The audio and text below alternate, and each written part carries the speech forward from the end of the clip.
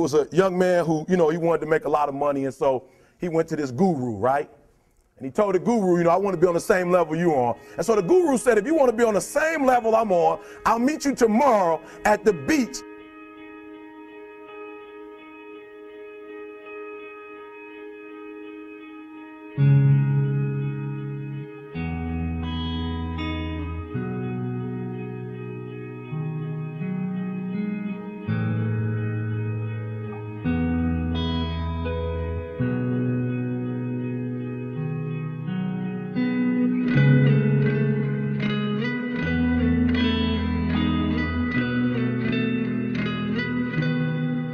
So the young man got there at 4 a.m. He all ready to rock and roll, got on the suit, should have wore shorts. The old man grabs his hand and said, how bad do you want to be successful? He said, real bad. He said, walk on out in the water. So he walks out into the water. Watch this. When he walks out into the water, it goes waist deep. So he like, this guy crazy.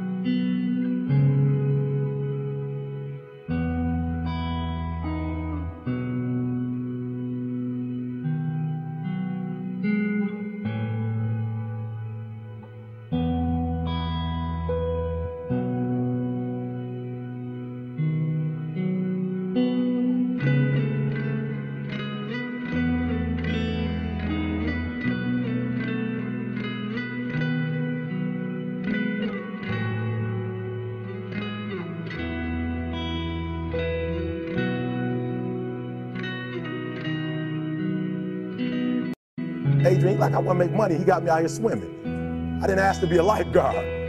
I want to make money. He got me in. So he said, come out a little further. Walked out a little further. Then he had it right around this area, the shoulder area. So this old man crazy. He making money, but he crazy. He said, come on out a little further. Came out a little further. It Was right at his mouth. My man like, I'm about to go back in here. This God is mine. So the old man said, I thought you said you wanted to be successful. He said, I do. He said, walk a little further. He came, dropped his head in, held him down, hold him down. My man getting scratching, holding him down. He had him held down. Just before my man was about to pass out, he raised him up. He said, I got a question for you. He told the guy, he said, when you want to succeed as bad as you want to breathe, then you'll be successful. I don't know how many y'all got asthma here today, but if you ever had an asthma attack before, you short of breath, SOB, shortness of breath, you wheezing. The only thing you trying to do is get some air. You don't care about no basketball game. You don't care what's on TV. You don't care about nobody calling you. You don't care about a party. The only thing you care about when you're trying to breathe is to get some fresh air. That's it. And when you get to the point where all you want to do is be successful as bad as you want to breathe, then you'll be successful. And I'm here to tell you, number one, that most of you say you want to be successful, but you don't want it bad. You just kind of want it.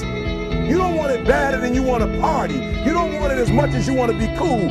You, most of you don't want success as much as you want to sleep. Some of you love sleep more than you love success. And I'm here to tell you today, if you're going to be successful, you got to be willing to give up sleep.